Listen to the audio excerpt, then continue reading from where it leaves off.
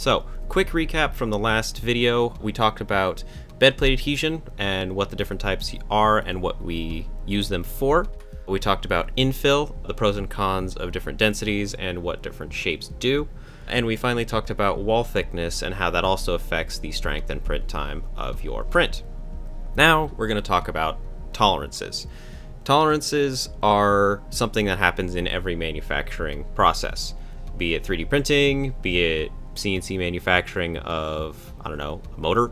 Everything is not 100% accurate to the model in the real world. It's basically impossible to get it perfect. You can get close, but never there. So, what tolerances are, are what you have to mathematically put into your parts if you're making moving parts to make sure they don't mess up and that they actually do work.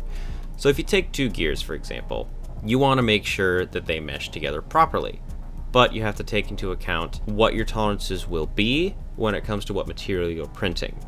So if you remember back at that chart eh, when I talked about different materials, different materials behave different ways when they're printing. So PLA tends to expand, get a little bit bigger than the source model.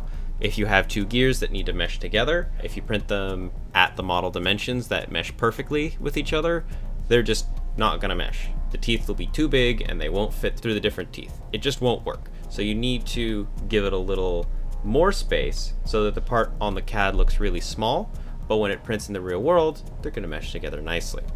ABS does the opposite. ABS tends to shrink a tiny bit when it's printing. So if you're making two gears out of ABS, you want to make it so that the gears in the program interfere, they hit each other a little bit. But when it prints, the model will shrink a tiny bit on the final product, and then the gears will mesh together. So what you want to do is you want to always account for about 0.3 to 0.5 millimeters of safety. If we were in person, I would show you the little gauges we have, but when you sign up for your workshop to get the final training, I will show you what those gauges are. So based on how close you get, uh, the looser and tighter the object will be close to each other. Because you can print two objects next to each other that are meant to interact in a way that is impossible to build, but 3D printing makes it possible.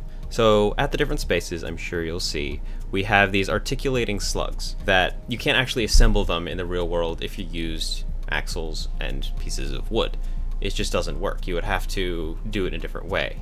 However, it leaves a good amount of tolerance so that when it's printing, when you take the part off, it's free moving. So you could make that axle bigger inside of the tube and up to about 0.2 millimeters, it starts getting really tight and then at 0.1 it's the same object.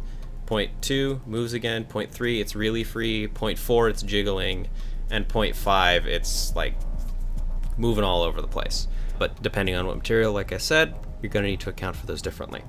That was the last one I wanted to talk about, it just needed its own little tail end video. Next we're going to talk about hardware issues quickly. Uh, hardware issues, these usually fall onto me and the other technicians. Usually you don't have to deal with these, but if you do have a 3D printer at home, you need to know what these are. So common ones are bed leveling, the extrusion head being clogged, the filament being moist, the filament broken and there's nothing in it, and then electrical and other problems with the monoprices. So when it comes to a print that looks like a Van Gogh on the side, if you ever have anything there, you can click on this link, and that will bring you to a website on Simplify 3D. And this is a great website because it shows you a picture of every issue there could be and tells you what's causing it and what you can do to fix it. So say, oh no, my object isn't sticking to the bed. Common solutions are that the bed is not level. Level it. The nozzle is too far away from the bed. Make it closer to the bed by leveling the bed or changing the Z height. First layer is printing too fast, so on, so forth. Say oh no, the print looks like a goopy mess. It's too hot. You should turn the fans up. You should have it print at a lower temperature. It's printing too fast. Things like that. And it's a really great website. It goes from really simple things to it's not starting and it's over extruding to really in-depth perfectionism ones like poor bridging or dimensional accuracy, finite things like, oh, you have vibrations and ringing. So that's a really cool website to go to. This was the last of the teaching ones. The next video we're going to talk about Cura, and we're going to throw an object into Cura, and we're going to run through how to slice it and set it up.